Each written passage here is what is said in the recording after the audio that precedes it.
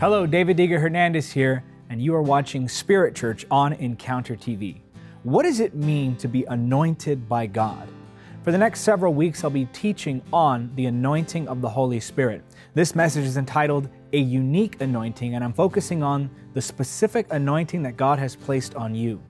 You have been designed by the hand of God to carry upon your life a unique anointing. You're not a copy of anybody, you are the first of your kind and God wants to use your life for a very specific purpose. And so, on this edition of Spirit Church, I'm talking about the unique anointing on your life. Stephen Moctezuma is here with me as usual. He's going to lead you in some worship, and then we're going to get into this lesson. Here's Stephen Moctezuma. My hope is built on nothing less than Jesus' blood and righteousness. I dare not trust the sweetest frame, but wholly trust in Jesus' name.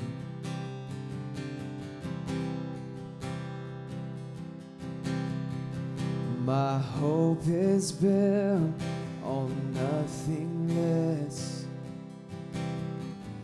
than Jesus' blood and righteousness. I dare not trust the sweetest fame, no, but wholly trust in Jesus' name. Yeah, yeah.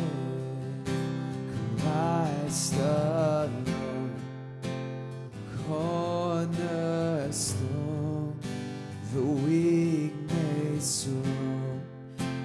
Savior's love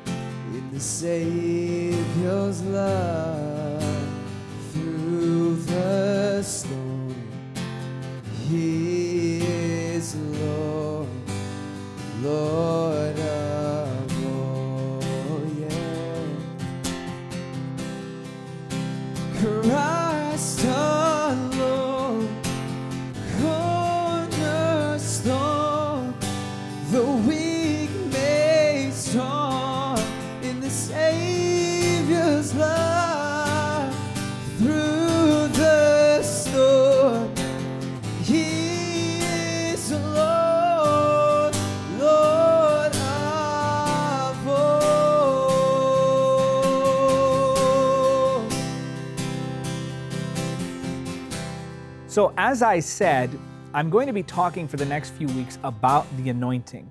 And this message is titled A Unique Anointing. And over the course of the next few weeks, I will be addressing different aspects of the anointing. And so today, I'm going to give you a little bit of an intro of what exactly the anointing is. And we're going to talk about the unique anointing that God has placed on your life.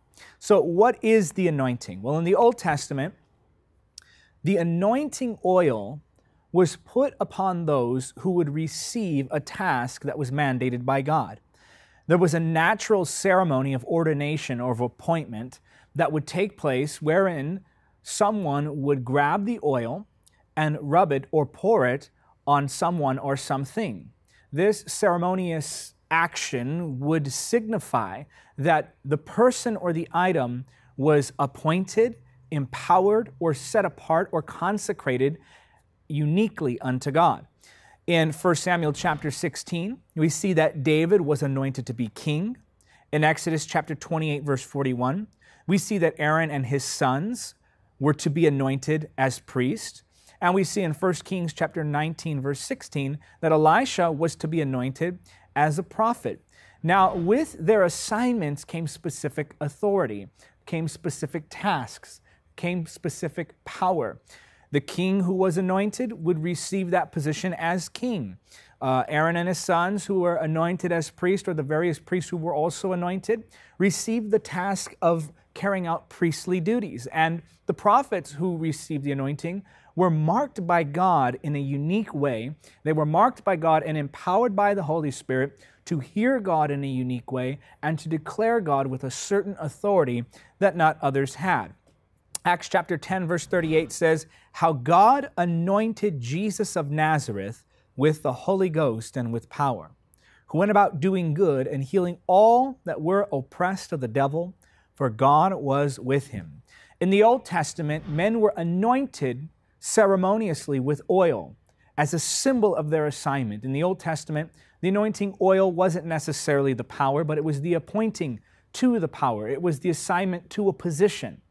And so in the New Testament, the Holy Spirit, who is represented by the oil in the Old Testament, such as Christ was also concealed and then revealed in the New Testament, that Holy Spirit empowerment is the anointing on your life and on my life today.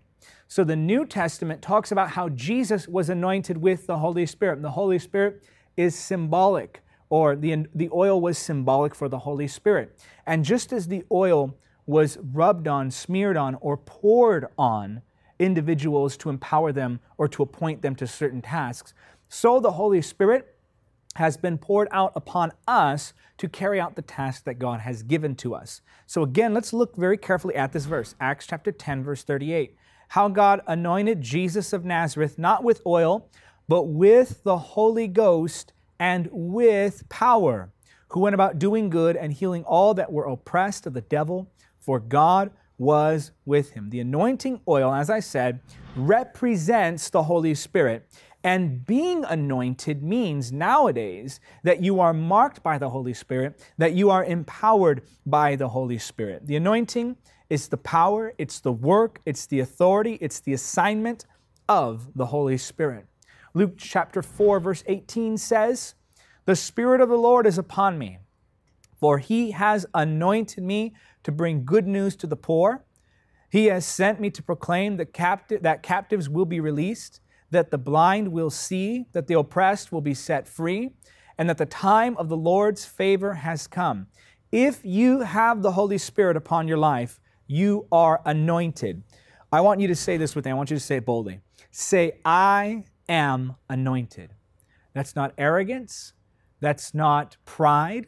That's the reality. I want you to say it boldly. Say, I am anointed. If you are a born again believer, if you have been filled with the Holy Spirit, then you are anointed. You have been empowered. You have been marked. You have been assigned. You have been given authority, a position from which you can command that certain things take place. You are anointed by the Holy Ghost. In the Old Testament, it was with oil. In the New Testament, it is with power and the Holy Spirit. God, with His hand, has marked you. God, with His voice, has called you. God has laid out a plan. God has laid out a design, a map, an assignment for your life. And He Himself has laid His hands upon you. He Himself has anointed you. Jesus is the one who anoints with the Holy Spirit. For the scripture says that He will baptize us with fire and the Holy Ghost. Jesus is the baptizer with the Holy Spirit. Therefore, Jesus is the one who has anointed you. Jesus is the one who has marked you. Jesus is the one who has called you. It's not a man that calls us. We cannot call ourselves. In the scripture, whenever you saw the ceremonious anointing of a man assigned to a certain task, position, or gift, that man did not anoint himself. He did not pour oil upon himself. Instead, someone standing in God's position, a prophet, would pour out the oil. Now one greater has come. His name is Jesus, and he has poured out the oil upon your life. He has marked you personally, and he has called you. Now we cannot be self appointed. We must connect with the Lord if we are to receive the anointing that he has placed upon our lives. Now, think of all those in the scripture who could have been assigned to today And then think about the times in which we are living. Never has the gospel been so needed as today. There has never been a moment in our history that was so crucial to God's agenda for the ages. This time is crucial. This time is important. This time is historic in the church. There is a great harvest of souls such as there has never been since the church began. And now, during this time, in this hour, God has anointed you. When I look through the scripture at the anointed men and women of God, when I think of Esther and Mary and Moses and Paul the Apostle and John the Baptist and King David and Samuel and Samson, when I think of Isaiah and Ezekiel and Jeremiah, when I think of Solomon with his great wisdom, I think of people who are anointed by God. I think of people who have made an impact in our world. But they lived in their time. They lived for their assignment. They lived in their hour. Today, in this crucial moment, in this crucial time, God has chosen to send and anoint you with the power of the Holy Spirit. I want you to really think about that. God has sent you to this time. You may say, I have nothing to offer. I'm not important. I can't contribute anything to God's agenda. Well, you would be mistaken because if you have the Holy Spirit, then you have been anointed. The anointing is not something that is given to the super spiritual. Sure, the anointing can be cultivated and its power can intensify upon your life with holy living and obedience toward God. But the truth is that even those who live in that sort of anointing do so with the power of the Holy Spirit, with the aid of the Holy Spirit. We are helpless without Him. And so God has assigned you to this day. We all begin with a similar base of truth. We all begin with the Word. We all begin with the revelation that has been given in the Scripture. And then from there, we become the sum of all those who have imparted into our lives. I think of my life and when I think of my life, I can name one person after another who has impacted me greatly. Some have impacted me who don't have a great name, and others have impacted me who, if I said their name, you would know their name. But I am the sum of all of those who have imparted into my life. God has brought people around you so that the anointing that's on them can get on you. You are attracted to what you are called to do. You are attracted to like callings. You are attracted to kindred callings. There is a pool, a divine pool, that is between you and those who are anointed in the same way you are anointed. I remember when I was about 11 years old, I often refer back to that time because that was a time of development for me. And during that time, when I was 11 years old, the Holy Spirit really began to form my faith. He began to fashion my theology. He began to take me, that 11 year old boy, and cause me to be influenced by several other people. And I remember I would read books on great evangelists such as Oral Roberts, Kathryn Kuhlman, John G. Lake, Smith Wigglesworth, and their lives, through the pages of their biographies, would impact me. And there was impartation that took place. And throughout the years, God has connected me with several mighty men and women of God.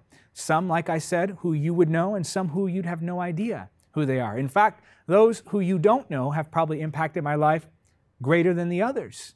And the truth is that you are a unique sum of all of those who have imparted into your life, all of those who have influenced you. There's that divine pool. That may be why you're watching this program right now, because there's a divine pool on this ministry and your life, because maybe you're called to do something similar to this. Maybe you too are called to minister the power of the Holy Spirit. Maybe you're called to teach people about the Holy Spirit and bring a new generation into an understanding of His person.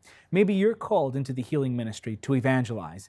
Maybe you're called to pray for those who are hungry for a touch of God and see them receive from an intensely manifested presence on your life. If that's the case, then it's no wonder that you're watching this right now. But you, no matter what you're called to do, are uniquely anointed. I remember one anointed. Remember one time I was talking to the Lord and I was asking him to reveal to me what he wanted me to do in the ministry. And I was flipping through Christian stations and some of the Christian television programs would catch my attention, some of them would not. But I'll never forget what happened when I switched to a certain channel and on that channel, I began to see people worshiping the Lord. And the music was heavenly. The people who were worshiping had tears streaming down their faces. It was like they were experiencing heaven on earth. And as soon as I saw this peaceful image come across my television screen, I was glued to what I saw. And the people began to sing. They sounded like they were joining in with angels. And I'm watching this. So about 12 or 13, and I'm watching this. And I knew something was happening inside my spirit. Something just lit up within me. And I was drawn into what was happening. And then I began to see this preacher come on television and that same program. And I saw the power of God move through this man. People were falling under the power of the Holy Spirit. The glory of God, so just as you'll see on this channel on YouTube or on our TV program, it was the same thing. It's where I first saw it and people were being healed and miracles were happening. And I knew in an instant that there was something kindred there. And the Lord used those broadcasts to impart into my life. And He also used the voices of those around me, and that has created a unique anointing. And you are the sum of the impartation on your life. You are also the sum of the moments that you experience with God, that you experience in His presence. It is a personal relationship that you have with the Lord. And He's taken you and He's molding you. And every time you pray, and every time you read the scripture, and every time you have an experience in His presence, and every time you worship Him or write something to Him, there's a unique development of an anointing on your life. Sure, we're all called to evangelize, we're all called to minister the power of the Holy Spirit to some degree. We are all called to expand the kingdom of God. But how we carry out those tasks, how we carry out those callings, is unique to us. God created unique people to carry out unique tasks. And you have received a unique anointing from the Holy Spirit. John chapter 6, verse 1 says this After this, Jesus crossed over to the far side of the Sea of Galilee, also known as the Sea of Tiberias. A huge crowd kept following him wherever he went because they saw his miraculous signs as he healed the sick. Then Jesus climbed on a hill and sat down with his disciples around him. It was nearly time for the Jewish Passover celebration. Jesus soon saw a huge crowd of people coming to look for him. Turning to Philip, he asked, Where can we buy bread to feed all these people? He was testing Philip for he already knew what he was going to do. Philip replied, Even if we worked for months, we wouldn't have enough money to feed them. Then Andrew, Simon Peter's brother, spoke up. There's a young boy here with five barley loaves and two fish. But what good is that with this huge crowd? Tell everyone to sit down, Jesus said. So they all sat down on the grassy slopes. The men alone numbered about 5,000. Then Jesus took the loaves, gave thanks to God, and distributed them to the people. Afterward, he did the same with the fish, and they all ate as much as they wanted. After everyone was full, Jesus told his disciples, Now gather the leftovers so that nothing is wasted. So they picked up the pieces and filled twelve baskets with scraps left by the people who had eaten from the five barley loaves. There was so much left over from what this boy had offered and I looked at what the scripture said here, and I was astonished to see what Philip had said. And I'm sure that if you or I were in his position, maybe with what he understood at the time, we might also have the same skepticism or doubt. But he says in verse 7 even if we work for months, we wouldn't have enough money to feed them. And then Andrew, Simon Peter's brother, spoke up. There's a young boy with five barley loaves and two fish. And then he says, But what good is that with this huge crowd? What good is that? Even if we work for months, we couldn't feed the 5,000. And I looked at this scripture, And what jumped out at me was the thought that this boy's offering wasn't enough to feed the over 5,000 people who were gathered. What good is this? They asked. You may ask the same about your life. You may ask the same about how God has anointed you. You know, I used to have very intense insecurities about myself. And I want to be careful how I put, how I communicate this because I don't want to exaggerate anything, but internally there was a very intense struggle with insecurities. Um, for instance, my last name, Hernandez. There are people who look down on you with certain last names. Now, I'm not saying that people on a mass scale are prejudiced toward Hispanics. I not that's not been my experience. Maybe it's been yours, but my experience has not been that. However, there have been some instances where I knew that I was being looked down upon and treated a certain way because I was Hispanic, because of my last name. And again, I don't want to get into the racial divides that are created by the hype of the mainstream media and what you might see around the world today. But I will acknowledge that there are some instances like that that people experience. It comes from every race and it goes to every race. It's not necessarily even a, a problem with the specific race. The problem is the heart and sin. However, still, there was that insecurity in me. This insecurity of being lesser than. And then at the same token, I had this certain sound in my voice that I still have, and I know you may find it humorous. I'm not saddened by it at all. And so don't don't don't use the comment section to say, "Oh, brother David, it's not true." Look, I embrace who I am. There's a certain nerdy quality, as one might say, to my voice.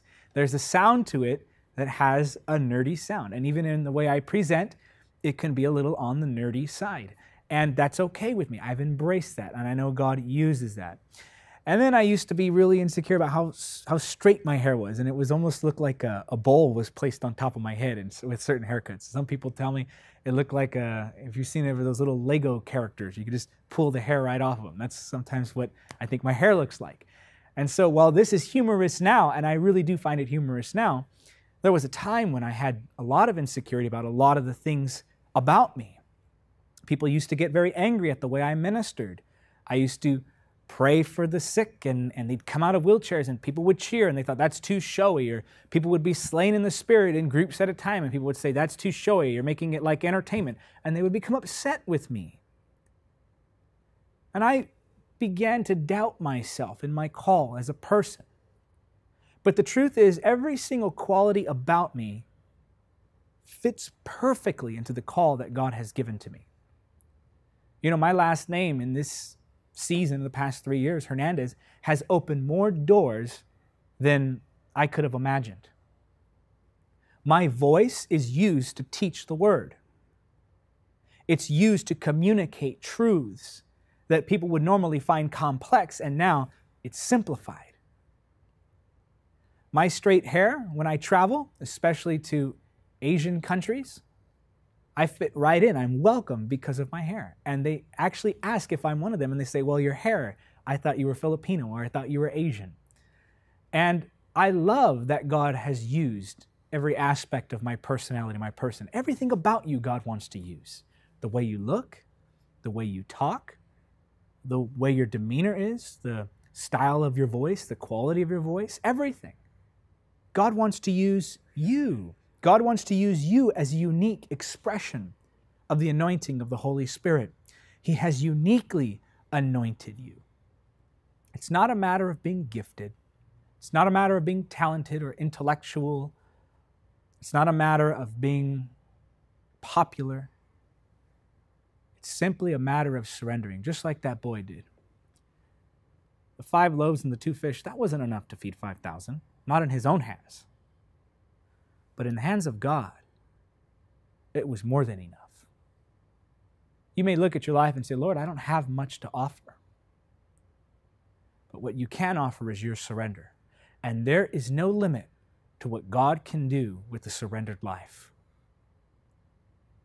You're uniquely anointed. God has called you. You are not anointed to be the next anybody.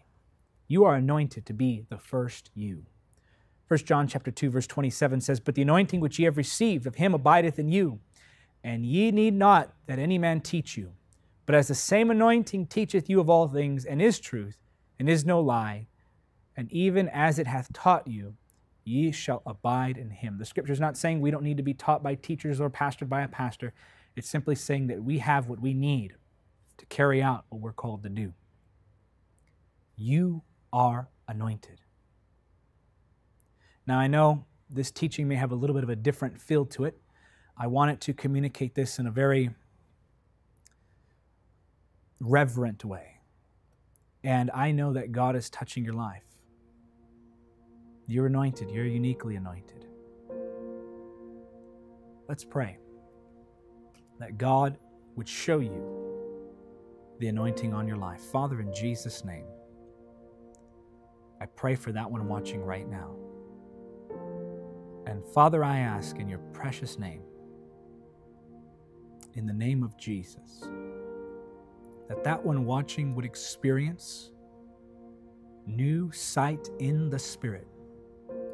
Lord, that they would suspend their skepticism.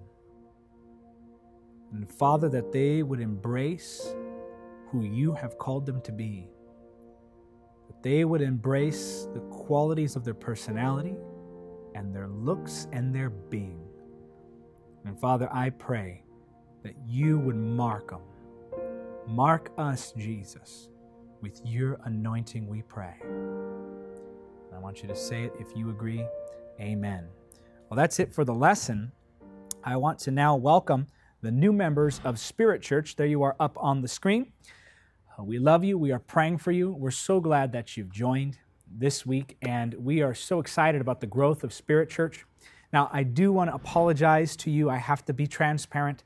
I am just very exhausted this week. I've had, we have, I've done preaching almost every day, and I'm actually leaving to Ohio in just just a little while from now, about just about 12, 15 hours. I'll start getting ready for that trip. But I do want to say that because I know I'm, I'm not as energized as I normally am on this teaching. So if you're sensing that, that's what that is.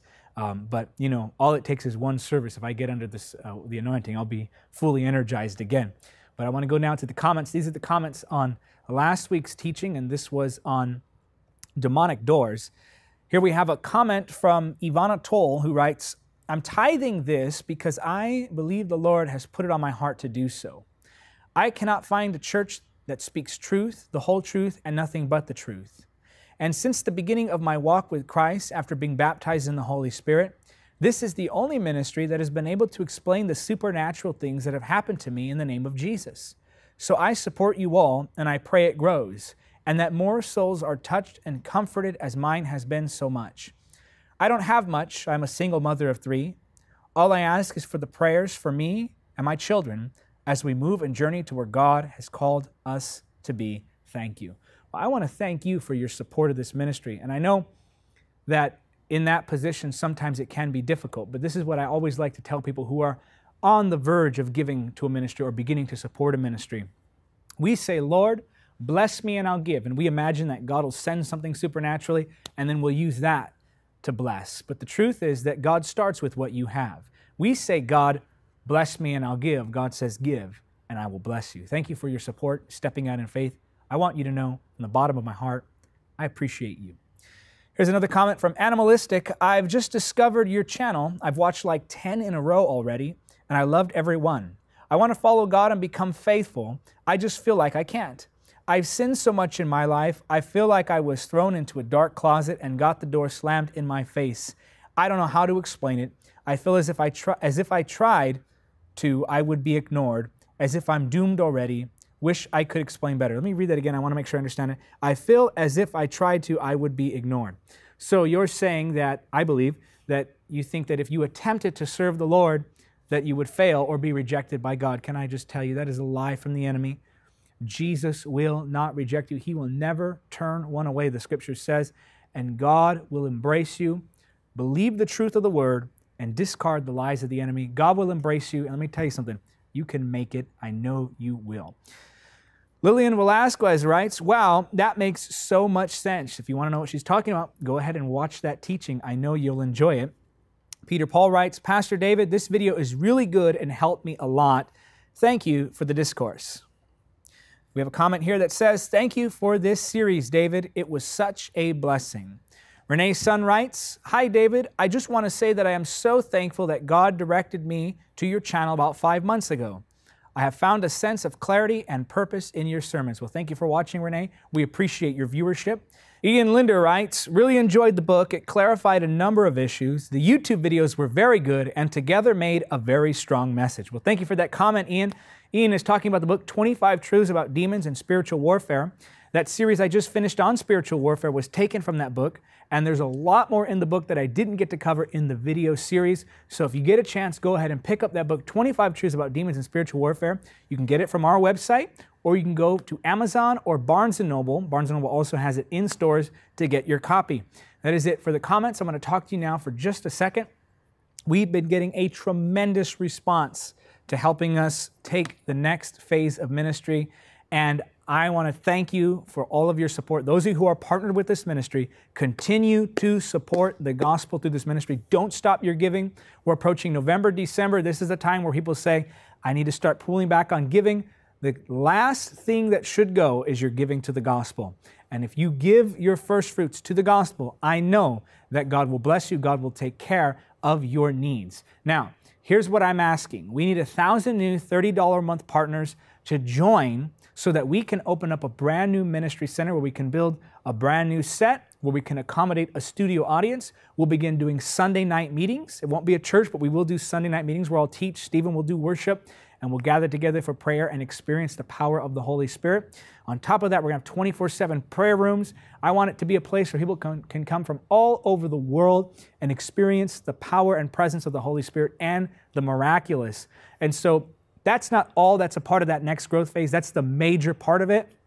This also includes expanding the television outreach, doing more events in more parts of the United States and in more parts of the world, both national and international meetings. So if you're looking at the world and saying somebody's got to do something about the way things are going, here's the something that you can do. You're not powerless. We can change the world. When you join your gift with ours, what you're doing is you're empowering each other to be more effective. We together are pooling all of our resources and unapologetically spreading the gospel of Jesus Christ, declaring there is no other way to heaven other than through Jesus, and He is the way. And we preach that gospel with truth demonstrated in the power of the Holy Spirit. You want to be a part of that? You want to help us change the world? Don't say someone else, don't say some other time. It's you. Do it right now today. Click on the link that's just about to appear over my head or on the donate button. If you're not watching this on YouTube, then go ahead and use the information at the bottom of the screen, which is davidhernandezministries.com slash partner to become a ministry partner today. So I want to say I love you. I want to thank you. Go ahead and do that. And that is it for this edition of Spirit Church. Until next time, remember, nothing is impossible with God. Hey fam, Stephen Moctezuma here. I want to encourage you to subscribe to our channel and to share our content. I hope you're enjoying all the content that we're sending your way. In addition to David's teachings and ministry videos, you can also join me on my worship playlist, where I release a brand new video every week. Thank you guys so much for watching Encounter TV. God bless.